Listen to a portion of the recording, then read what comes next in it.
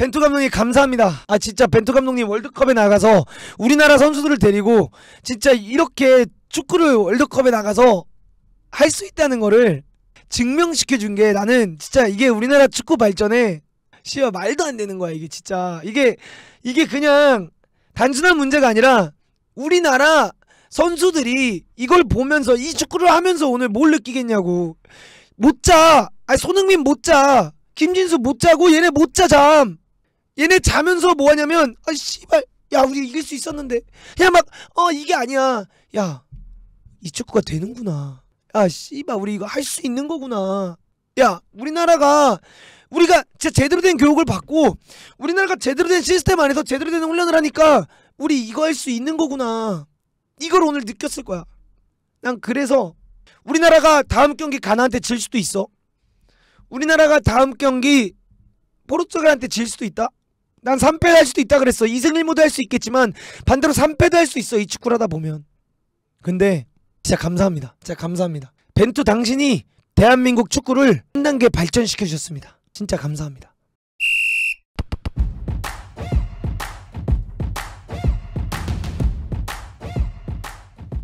벤까! 벤까다 어딨어? 벤까다 어딨냐고. Where is 벤까? Where is 나상호까? 우리나라가 월드컵 가서 뭐?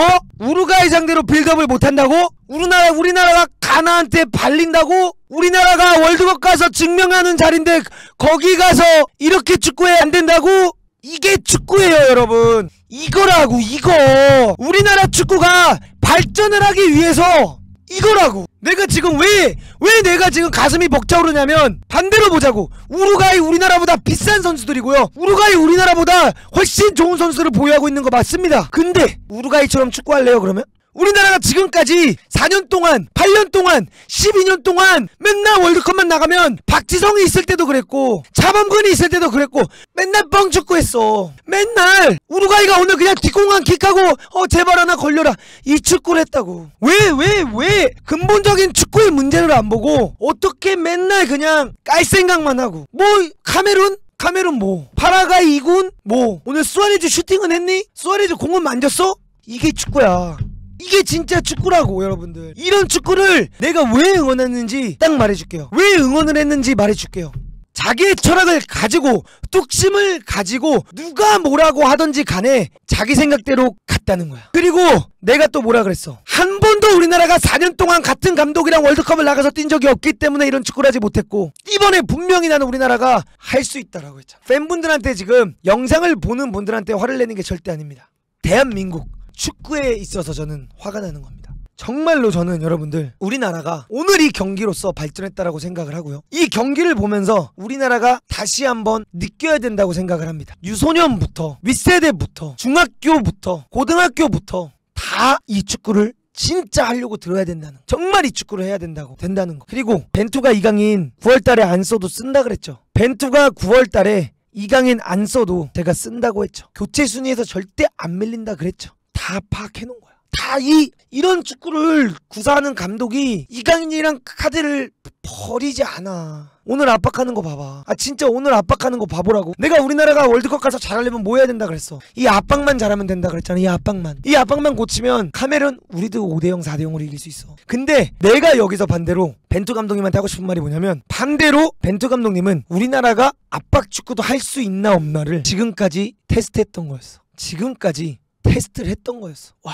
근데 자기가 테스트 해본 결과 이렇게 전방 압박을 했을 때 우리가 결국 월드컵에서 성적이 안 날 걸 아니까 뭐합니까? 바로 내려와서 수비하고 바로 미드필드 바로 잡아버리고 벤탄쿠르 뭐 했어? 발베르데 뭐 했어? 수아레즈 어디 있어? 수아레즈 오늘 뛰었어? 꺼내줄게 수아레즈 K리거? K리거? 김영건 오늘 봤어요? 김영건 오늘 얼마나 잘하는지 봤어요? 이번 시즌에 에필 서울에서 뛰었던 황, 황인범 봤어요? 나상호 봤어요? 아 진짜 감동이다 진짜 감동이다 나는 벅차올라 우리나라가 월드컵 나가서 이런 경기를 보여준다는 거. 우리나라가 점유율을 가져간다는 거. 우리가 우리 축구를 한다는 게 난 너무 벅차올라. 그리고 또 한 가지 더. 한 가지 딱 더 말할 게 있습니다. 오늘의 MVP 누구냐? 벤투야. 오늘의 MVP는 벤투야. 모두가 욕할 때, 모두가 지랄할 때 꾸역꾸역꾸역 나상호 뽑은 사람, 꾸역꾸역꾸역 황의조 뽑은 사람, 꾸역꾸역꾸역 권창훈 빵창훈이라고 욕할 때 뽑은 사람 벤투야. 여기서 이제 제가 한 가지 더 얘기할게요. 우리가 근데 가장 중요한 건 다음 경기가 중요합니다. 이번 경기 굉장히 잘했어요. 그죠? 제가 여러분들 항상 했던 얘기가 뭡니까? 우리나라가 가나를 이기려면 제가 항상 했던 말이 있습니다. 오른발잡이 왼쪽 윙어 강진 리 선발. 그 옆에 하프스피스에 두고 이재성 선발. 그거 가져가면 이깁니다. 그거 가져가면 이깁니다. 2승 1무 가능성 있다고 제가 매번 말했잖아요. 2승 1무 진짜 가능성 있는 겁니다. 제가 무승부 아니면 무조건 우리나라가 이긴다라고 했습니다. 왜 그런 말을 할 수 있냐면 우루과이 경기를 내가 8개 이상을 봤어. 우루과이가 이기는 걸 8개 이상을 봐봐. 풀경기로. 걔네가 어떤 공격력을 가지고 있는지 어떤 축구를 하는지. 근데 그거 축구에 맞게 우리가 수비만 해주면 얘네가 난 뻥축구밖에 할 수 없다는 거 알고 있었거든. 그리고 결국 그 뻥축구를 했어 오늘 우루과이. 왜? 그 수비를 해서. 나 진짜 너무 벅차올라. 진짜 오늘은 여러분들 오늘까지나 다 맞춰버렸거든. 그냥 오늘은 방종할게요. 내가 전 경기 중계하기로 했는데 나 그냥 오늘은 방종하고 정말 이 우리나라가 정말 이렇게 행복하게 축구하고 우리나라가 정말 이렇게 멋지게 월드컵에 나가서 보여줬다는 게 난 너무 진짜 진짜 눈물 날 것 같아. 아 진짜 교체 시간도 맞췄어. 교체 시간. 씨발 교체 시간도 맞췄어. 골만 안 먹고 조금만 기다리면 진짜 이강인 투입 30분만 남겨놓고 하면은 진짜 잘할 수 있다 그랬는데 어, 어, 감격스럽다.